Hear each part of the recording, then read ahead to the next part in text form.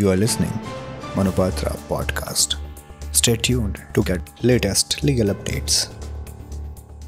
Supreme Court has directed Indian Olympic Association that it is obligated to comply with the draft constitution framed under the supervision of the top court and the International Olympic Committee pending its finalization.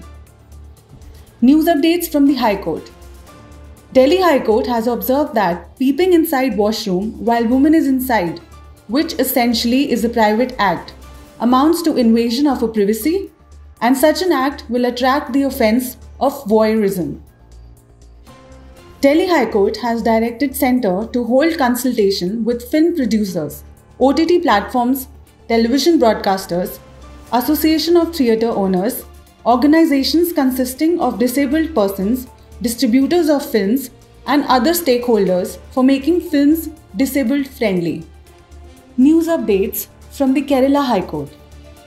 Kerala High Court, while sentencing a 26 year old accused to 20 years imprisonment for rape and impregnating a 17 year old minor, has observed that rape is a crime of violence which is deeply personal and unwanted violation of human being and a brutal exertion of power and control over other person.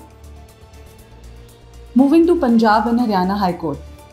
Punjab and Haryana High Court, while observing the state can't shirk its duty to ensure the safety of its citizens, has directed Senior Superintendent of Police to consider the protection request of a same sex couple and provide them security if needed.